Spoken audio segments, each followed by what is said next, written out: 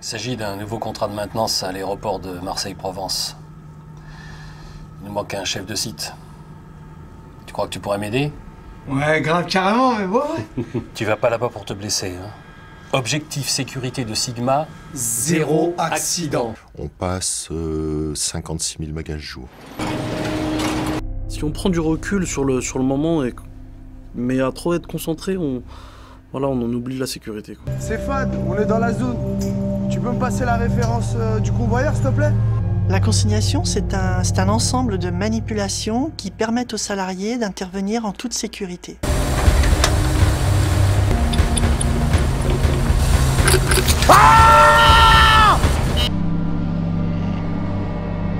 On pense toujours que ça arrive qu'aux autres.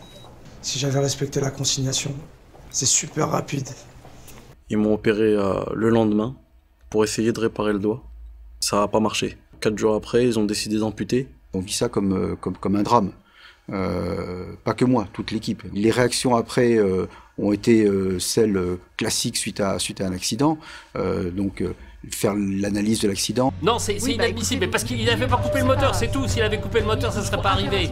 D'une accidentologie trop importante sont absolument dramatiques. Tu vas descendre à Marseille? Oui, pour l'inspection du travail. Ils ont déjà prévenu la police. Il y a un rapport sur les circonstances de l'accident. Ils veulent nous rencontrer en présence du client et avoir des renseignements sur FAD euh, concernant ses différentes formations. Il faut faire en sorte que ça n'arrive plus du tout. Notre objectif, nous le connaissons tous, zéro accident. La réflexion avant l'action. Avec des si, on ne protège pas sa vie. Avec des si, on ne protège pas sa vie.